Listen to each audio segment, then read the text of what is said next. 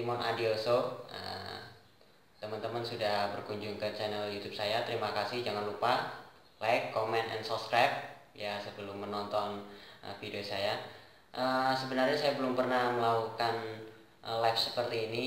Saya memberikan motivasi sedikit buat teman-teman para pemula blogger yang ingin terjun ke dunia blogger. Ya, teman-teman sebenarnya untuk menjadi seorang blogger itu cukup mudah tetapi teman-teman harus memiliki seorang panduan yang tepat.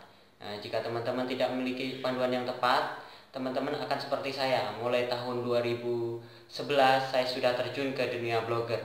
Cuma karena saya tidak ada yang menuntun saya belajar sendiri melalui Google.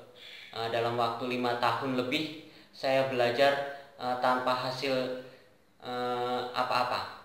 Dan itu uh, puji Tuhan teman-teman di tahun ke-6 tahun ke-7 saya mendapatkan titik terang walaupun perjuangan saya selama lima tahun itu belajar dan tidak saya menghasilkan ternyata saya uh, dapat menghasilkan sampai saat ini uh, itu pertama karena ketemuan saya mencari artikel-artikel uh, yang ada di beranda Google nah kalau seumpamanya teman-teman punya seorang teman yang bisa menuntun, yang bisa mengarahkan. Kebetulan saya eh, kalau ada teman-teman yang datang ke rumah itu saya ajarin. Sebagian teman-teman saya saya ajarin. Jadi kalau teman-teman punya teman yang pintar uh, mengelola blog, alangkah baiknya untuk para pemula belajar dengan teman-teman yang bisa bisa mengelola blog supaya terarah. Yang pertama untuk motivasi saya yang pertama pada pagi hari ini teman-teman uh, kalau teman-teman mau terjun ke dunia blogger, teman-teman fokuskan utamakan membuat konten ya jadi teman-teman jangan berpikir tuh mau dapat uang banyak mau dapat gajian seperti saya mau dapat jutaan rupiah bahkan puluhan ratusan juta jangan berpikir ke sana dulu. Teman-teman fokus membuat konten banyak-banyak membuat konten datangkan visitor.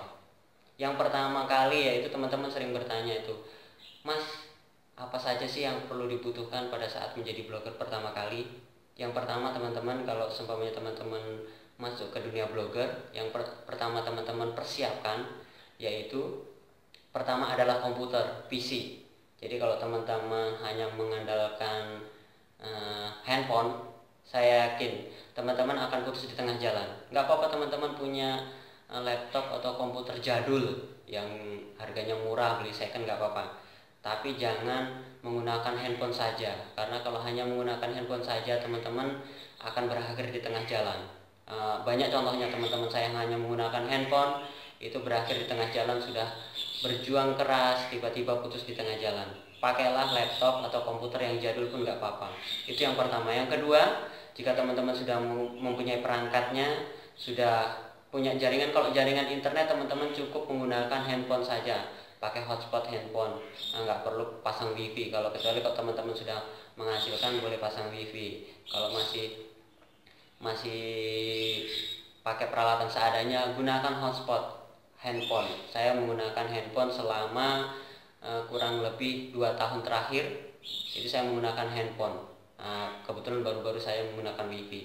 Uh, setelah itu teman-teman sudah perangkatnya sudah teman-teman uh, langkah selanjutnya yaitu membuat blog. Membuat blog ini teman-teman kadang bingung nih untuk para pemula nih mas gimana sih caranya uh, setting template gimana caranya setting domain gimana caranya supaya templatenya blognya itu SEO-nya bagus. Nah di sini teman-teman kalau teman-teman bingung cara setting template domain apa sebagainya teman-teman usahakan coba-coba dan mencoba membaca di Google. Jadi teman-teman jangan apa-apa bertanya sama orang yang bisa. Kadang-kadang teman-teman apa pun yang teman-teman pertanyakan itu belum tentu dijawab dengan benar. Jadi teman-teman usahakan uh, banyak membaca yang ada artikel-artikel di Google karena di Google itu uh, lebih lebih besar kemungkinan memberikan uh, artikel yang benar-benar sesuai dengan pengalaman si pemiliknya. Jadi kalau teman-teman bertanya kepada langsung secara langsung atau melalui inbox atau melalui WA teman-teman kemungkinan besar dikasihnya hanya separuh mungkin hanya separuh mungkin hanya secuil. Mungkin hanya secuil teman-teman itu dikasih tahu uh, tips dan triknya. Jadi teman-teman bagusnya cari-cari di internet itu lebih lengkap. Uh, itu yang yang kedua. Yang ketiga teman-teman kalau untuk setting domain menjadi TLD uh, dari blogspot teman-teman silahkan uh, langsung saja. Nggak usah pakai domain-domain gratisan. Karena teman-teman nanti uh, proses dari blogspot ke TLD nanti itu ada penurunan traffic jadi teman-teman pada saat membuat blog baru usahakan langsung menggunakan domain TLD untuk templatenya templatenya saya tidak kaku tidak merekomendasikan teman-teman harus menggunakan template premium. Tapi alangkah baiknya kalau punya modal beli template premium. Tapi kalau tidak punya teman-teman silahkan cari di Google. Karena saya sendiri uh, menggunakan template gratisan itu cukup bagus saya setting SEO-nya saya setting sendiri. Saya cari di Google caranya. Ada. Lengkap semua di Google. Dan saya tidak pernah tanya dengan teman yang lainnya untuk malah setting-setting template. Jadi untuk masalah template itu sebenarnya optimasi teman-teman sendiri. Cari template yang satu template yang benar-benar bagus. Jadi jangan template asal-asalan teman-teman. Gonta-ganti template itu akan mempengaruhi visitor. Sekali teman-teman mendapatkan satu template yang bagus tetapkan. Desain bagus-bagus. Jadi jangan sampai dirubah lagi templatenya. Jadi templatenya itu satu e, menjadi seumur hidup. Teman-teman bisa lihat e, di blog saya mastimon.com di situ uh, template saya tidak pernah saya rubah. Uh, kalau teman-teman lihat itu cukup jadul tapi page speednya cukup cepat. Saya pun tidak rubah ke AMP karena apa? Itu akan mempengaruhi visitor saya. Uh, selanjutnya jika teman-teman sudah uh, memasang template sudah setting template yang bagus menetapkan sudah yang bagus. Tahap selanjutnya yaitu menulis. Ya di sini uh, cukup sulit tahapan menulis ini untuk buat teman-teman. Karena apa? Menulis ini membutuhkan waktu yang cukup panjang apalagi untuk para pemula. Dan saya sendiri mengalaminya pada saat saya pertama menulis. Pertama menulis saya dulu saya lebih banyak menulis tentang e, pengalaman kehidupan saya. Jadi pengalaman kehidupan saya pengalaman saya ngapain itu saya tulis semua. Jadi termasuk pada saat saya mengalami kendala di handphone saya ada solusinya itu saya bikin artikel teman-teman. Jadi itu lebih mudah itu lebih lancar penggunaan kata-katanya lebih lebih cepat. Tetapi kalau teman-teman melakukan rewrite rewrite di sini teman-teman akan merasa kesulitan. Karena jika sudah sudah melakukan rewrite itu banyak kata-kata kunci yang susah dimengerti. Kadang-kadang kita nggak paham paham nih ini ini maksudnya ini artikel ini apa? Kalau kita sudah nggak paham ujung-ujungnya apa yang teman-teman lakukan? Melakukan copy paste. Dan kalau melakukan copy paste itu sudah pasti jelek di mata Google. Jadi saya sarankan buat teman-teman walaupun uh, bahasanya belepotan teman-teman usahakan selalu menulis ori menulis hasil karya sendiri. Itu lebih bagus teman-teman. Rewrite juga gunakan gaya bahasa sendiri. Itu lebih bagus walaupun uh, terkendala atau susah. Selanjutnya teman-teman jika teman-teman sudah uh, bisa menulis sudah men sekarang adalah melakukan pengaturan. Pengaturan supaya teman-teman tepat tetap komitmen uh, dalam menulis. Seperti saya teman-teman saya sudah selama dua tahun hampir hampir berjalan tiga tahun ini uh, komitmen menulis. Sebelumnya selama lima tahun saya hanya uh, melakukan copy paste melakukan yang nggak bener lah pokoknya melakukan hal-hal yang aneh-aneh dulu waktu dulu saya lima tahun sebelumnya saya tidak pernah menulis. Dalam 2-3 tahun saya komitmen menulis. Dan sampai saat ini saya menulis. Eh, teman-teman bisa lihat uh, pada saat saya syuting hari ini pagi hari ini ini saya sudah mandi sudah pakaian rapi tapi nggak tahu nih celananya koloran nih.